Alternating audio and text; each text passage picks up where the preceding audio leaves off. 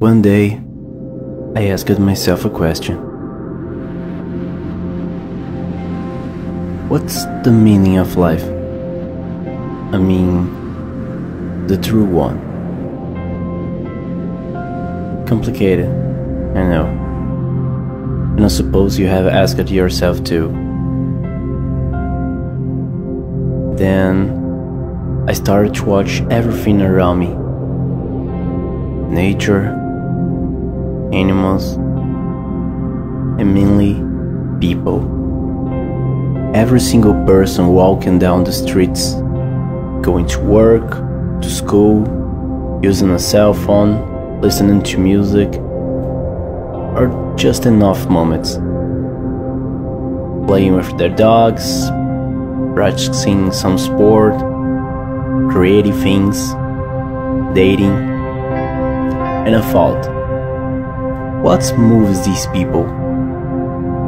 Why do they do all these things? And after many observations, reflections, and so many conclusions, I was only satisfied with one death. Yeah, death. The meaning of life. It's a strong and shocking word, I know, but it clearly defines a lot of our actions. Why else will we do everything we do in this life? It's knowing that one day we will die which makes us appreciate what's around us and fight for it.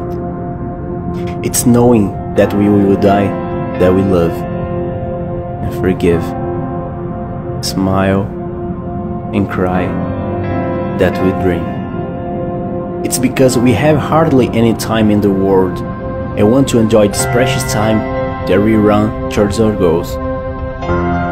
Because of this, we fall into sorrow when an error puts us farther away from the dream of from someone. There are things that really don't come back. Our time is counted and short, though it's never too late to start something or to start over.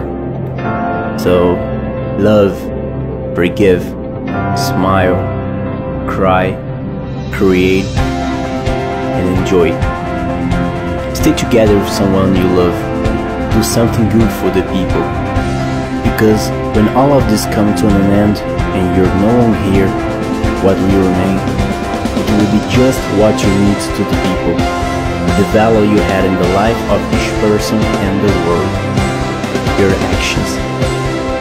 And even though you're not present, you will remain alive in the memory of each and every human being. Just think about it.